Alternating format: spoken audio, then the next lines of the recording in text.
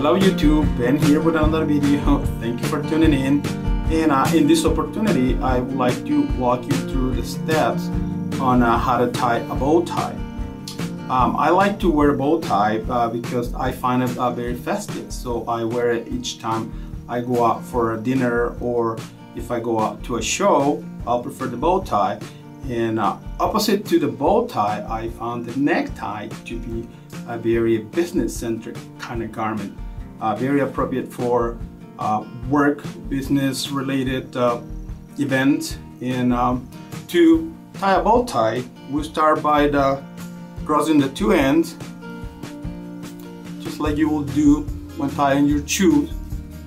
Then we shape the bow tie in this way and we form a loop with uh, the other end and we go insert the other end under the loop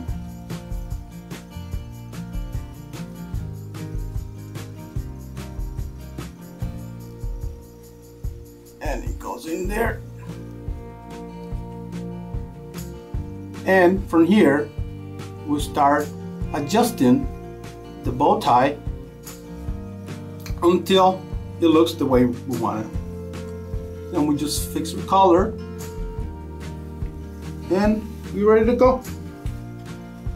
I hope you find this video uh, useful and uh, if you think that it is a useful video I will appreciate if you uh, consider subscribe to my channel.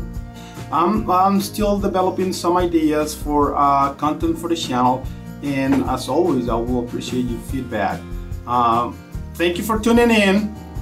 See you next video. Bye.